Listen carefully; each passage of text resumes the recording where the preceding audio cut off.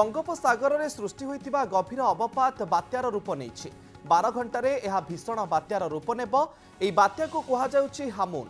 ପଚିଶ ତାରିଖରେ ଏହା ବାଂଲାଦେଶ ଉପକୂଳ ଛୁଇଁବ। ଓଡ଼ିଶା ଉପରେ ଏହାର କିଛି ବିଶେଷ ପ୍ରଭାବ ପଡ଼ିବ ନାହିଁ।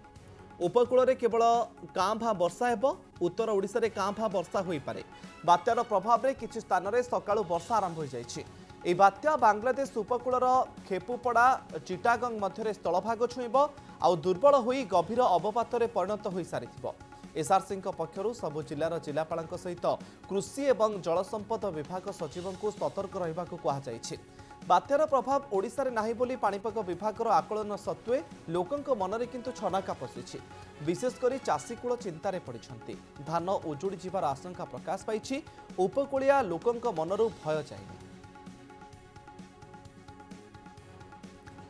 କିନ୍ତୁ ଆଶ୍ୱସ୍ତିକର କଥା ହେଲା ଏହା ବାଂଲାଦେଶ ମୁହାଇବ ଆଇଏମ୍ଡିର ଆକଳନ କହୁଛି ଏହା ଓଡ଼ିଶା ଉପକୂଳରୁ ଦୁଇଶହ କିଲୋମିଟର ଦୂରରେ ସମୁଦ୍ର ଭିତରେ ଗତି କରିବ। ଆଉ ଏହାର ପ୍ରଭାବରେ ରାଜ୍ୟରେ ଆଜିଠୁ ଝିପିଝିପି ବର୍ଷା ଆରମ୍ଭ ହୋଇଯାଇଛି। କାଲି କେନ୍ଦ୍ରାପଡ଼ା ଜଗତସିଂହପୁର ଏବଂ ଭଦ୍ରକରେ ଅଧିକ ବର୍ଷା ହେବାର ଅନୁମାନ କରାଯାଉଛି। ଆଉ ଏହାର ମୁକାବିଲା ପାଇଁ ପ୍ରସ୍ତୁତି ଆରମ୍ଭ କରିଦେଇଛନ୍ତି ସରକାର।